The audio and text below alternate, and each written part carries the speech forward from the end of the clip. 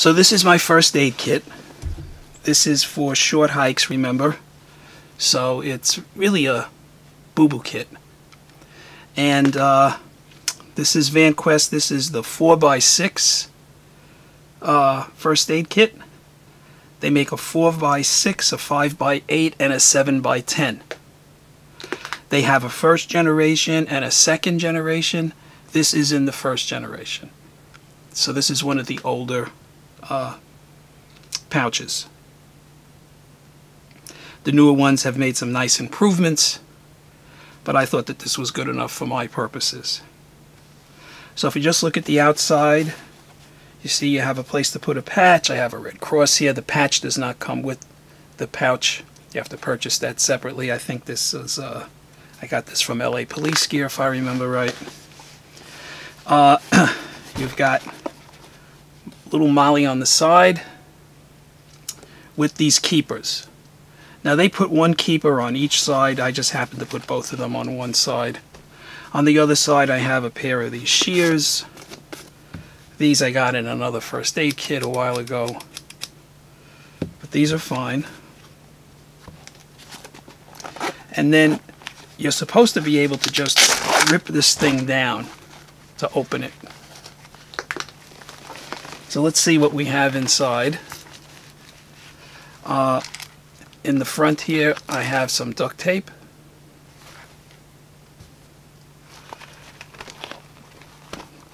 I have an ace bandage. Again, you know, what other things that can happen on a short hike? You can twist your ankle. So that's what the uh, ace bandage is for. Uh, worst case scenario, somebody stops breathing. this is a CPR mask. I'm trained in CPR. I'm also I also have some minor training in first aid. Uh, I get it at work. It's free. If you have the opportunity at work, take it. The uh, the CPR training was one night, three hours. I could be certified if I wanted to be. I just didn't feel like paying the extra 50 bucks or whatever it was. Uh, first day training was a different night tweezers. Somebody gets stung by a bee or other nasty insect. You want to remove the stinger. That's what the tweezers are for.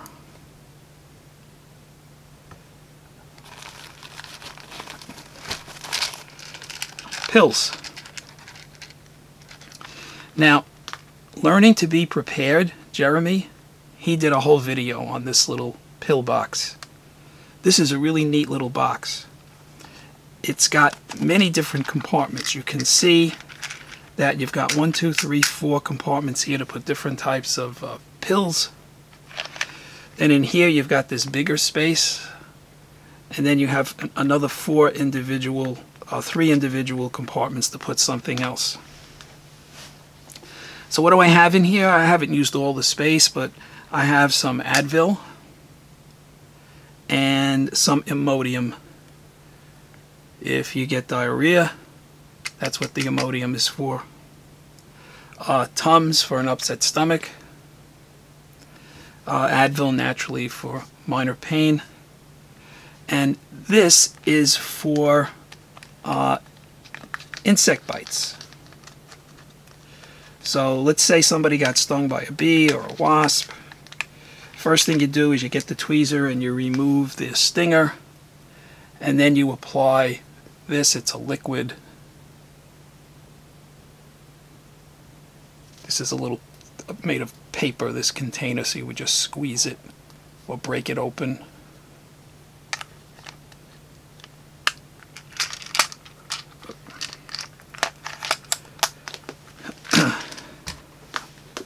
What else? Safety pin. Safety pin is there to use in conjunction with the ace bandage because you got to be able to uh, get the ace bandage to close. You would use a safety pin for that. Probably should have another one or two safety pins. I'll have to make a note to do something about that.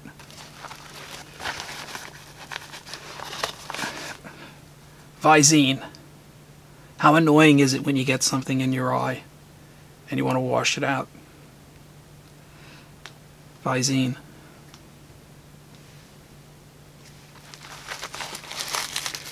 Gloves.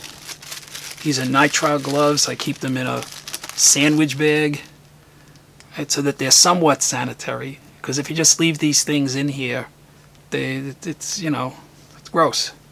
So uh, think there's three or four pairs of gloves in this bag.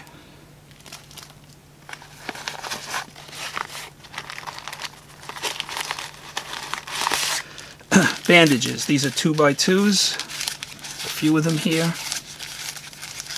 Gauze.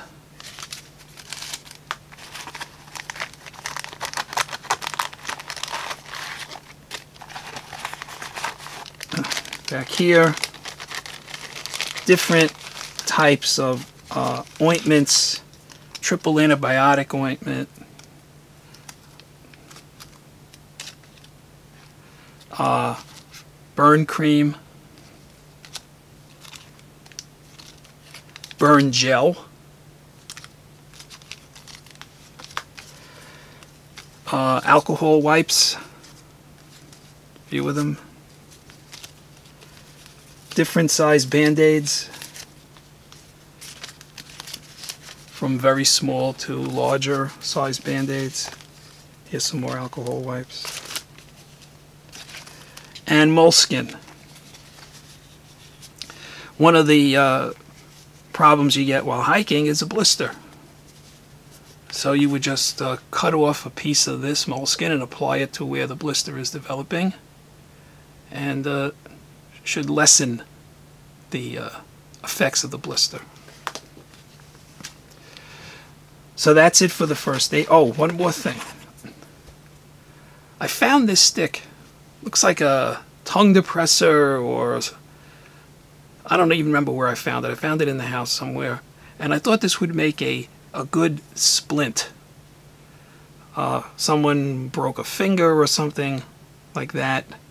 Uh, you know, again, just temporary. Put it on the finger with some duct tape, and uh, that could be a temporary type of splint. So that's it for the first aid kit. Now we'll go on to the second kit, which is the personal items. So this pouch is something that I use to carry uh, small personal items and I don't have this uh, fully loaded out yet but uh, uh, this is the VanQuest PPM Husky PPM stands for Personal Pocket Maximizer it comes in two sizes slim and husky husky being the larger size I have a patch on here this is from the Art of Manliness which is a podcast if you've uh, not listened to it. It's pretty interesting, pretty good.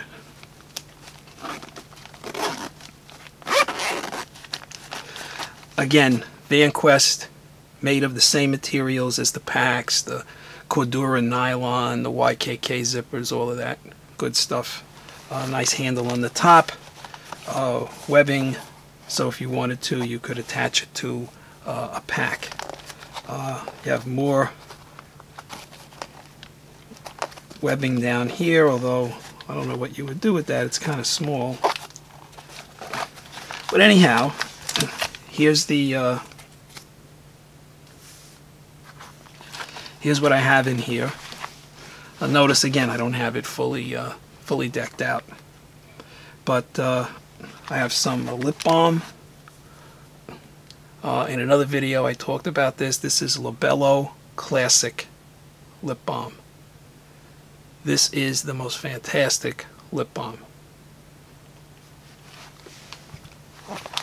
I've got some hand sanitizer in the form of wipes. It's Purell, but they're wipes. I also carry a bottle of Purell.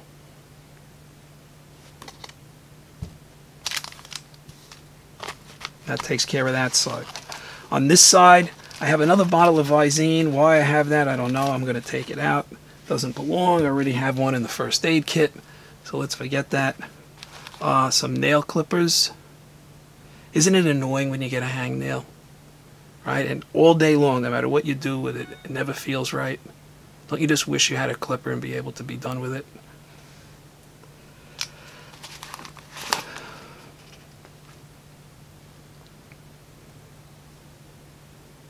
Dental floss.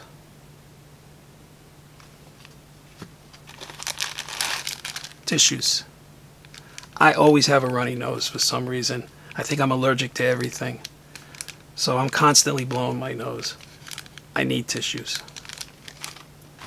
Uh, there's a key keeper in here. I don't use it for anything.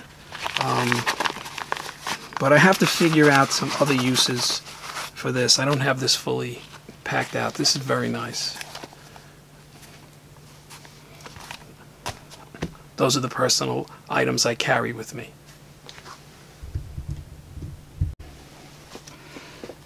In this pouch I carry my electronics and admin items. This is another VanQuest pouch. This is called the FTIM. F-T-I-M. Fast, totally integrated maximizer. It's kind of a combination of the other types of maximizer and the medical kit. Uh, it comes in two sizes, slim and husky. This is the slim. Notice it has a place for a patch. I have that fight in the shade. I forget who said that. I think it was like Teddy Roosevelt or something, maybe. Uh, like most of the VanQuest pouches, it does have a pocket in the front. It closes with Velcro. So you could put things in there if you needed to. And it kind of opens, oh, a little MOLLE, one row, or two rows actually. Uh, and webbing so you could attach it to a pack or something. It opens kind of like the medical pack does.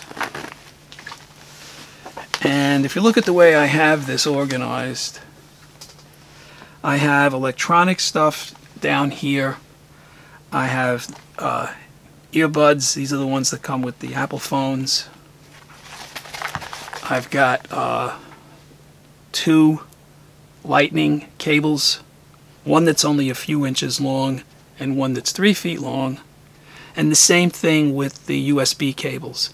I've got one that's only a few inches long and one that's uh, a little bit longer, maybe a foot long.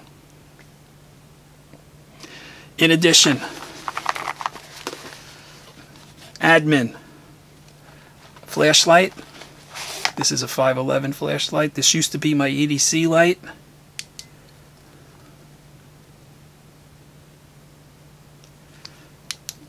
Now it's in here. For EDC, I carry a, much smaller flashlight. It's also 511. It's a very tiny one. It's really all I need.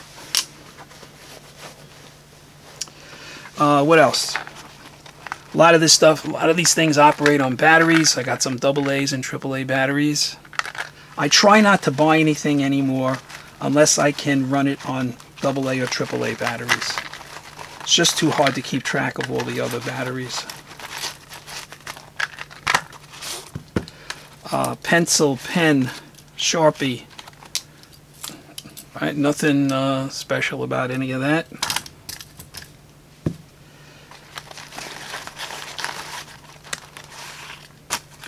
Simple 3x5 pad. Not a Rite in the Rain or anything. Got it at Staples. I got a like 10 for a dollar or something. It's very inexpensive.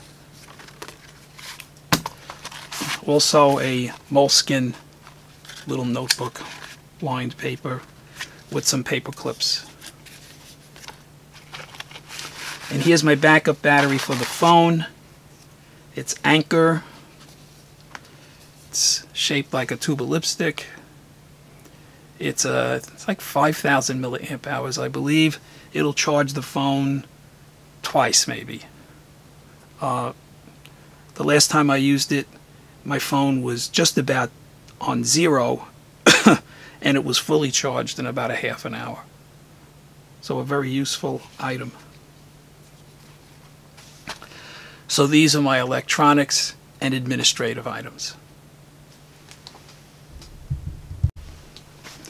So the uh, last pouch in this configuration that I use on uh, certain day hikes, short ones, is uh, what I would call tools. You'll see what I mean when I get into it. This is another VanQuest pouch. It's called the EDC Maximizer and it comes in three sizes, slim, husky, and huge. And this is the husky. This is the mid size.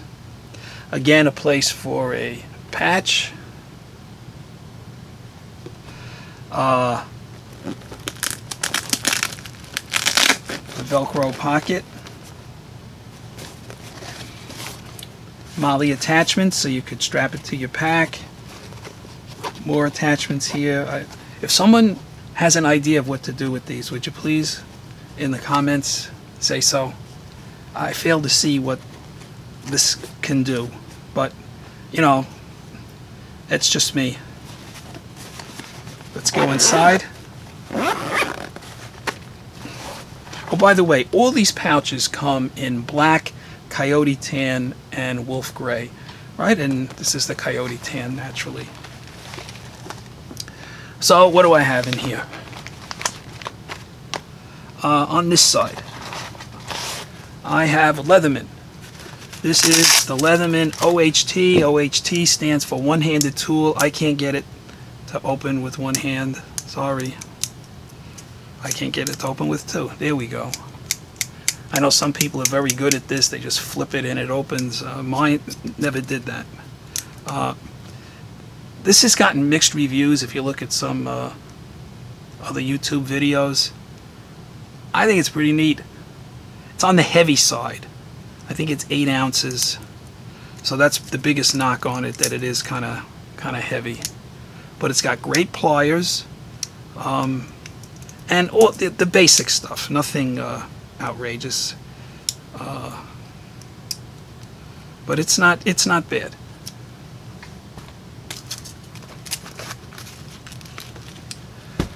and because sometimes you have to be afraid of getting lost, compass. Now I also have a compass app on my phone, but you know, sometimes you don't want to use the phone up if you don't have to. So uh, this little compass uh, help out. Normally when I go on the short hikes, they're places I've been before, I know where I'm going, it's hard to get lost. And it's in urban locations. If you do get lost, you're going to be tripping over people in a matter of minutes. So it's not a problem. So that's it on this side. Uh, over here we have a big lighter. Doubt I'll ever need it, but it's there just in case. Uh, spork. Now, since I'm not really eating food other than bars, I, I guess I really don't need this, but I mean, it only weighs, what, fraction of an ounce? Backup knife, my main EDC knife that I carry with me all the time. My uh, 511 Warn. I've been carrying this knife now for about a year. Love it. Just the right size. For me.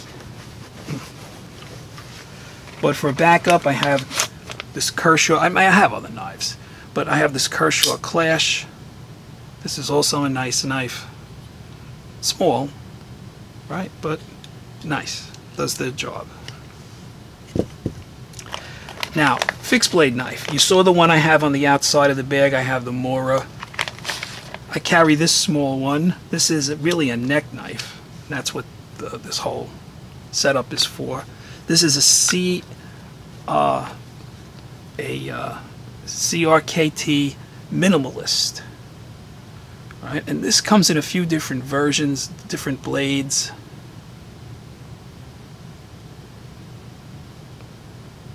But this is a cool little knife. I cannot, you know, again, I'm in New York. I live in New York most of the time. Uh, when I go on these short hikes, it's uh, I have a spare afternoon or something. Um, in New York, you cannot. if you do carry a knife, it has to be concealed. So wearing a neck knife, it's not concealed. I don't feel like spending the night in a police station for carrying a knife that's got an inch blade on it. Here are some MOLLE sticks. These are VanQuest MOLLE sticks. Earlier you saw I carry the uh, isopod, isopod and uh, if I had to attach it to the bag I have the uh, molly sticks to do that. And last but not least, oops, some zip ties. There are 10 of them here and I put a little electrical tape around them so they don't fly around all over the inside of the bag. And if nature calls, the One Wipe Charlies. Uh, again, these are you can get these from the Dollar Shave Club. Um, pretty effective, but uh, let's hope you don't have to use it. So that's everything in my tools module. And the four modules again, first aid kit, personal items, electronics and admin, and tools. I'll be back in a minute to summarize. So on shorter day hikes, I like to take the VanQuest Trident 20 and I have it set up with these modules. One for first aid, one for personal items, one for administrative items and for electrical items like cables and battery chargers, and the last one for tools. If you have any comments, please leave them below. Any suggestions I would appreciate. Please like, share, and subscribe. And I'll be back with another video as soon as I can. Peace out.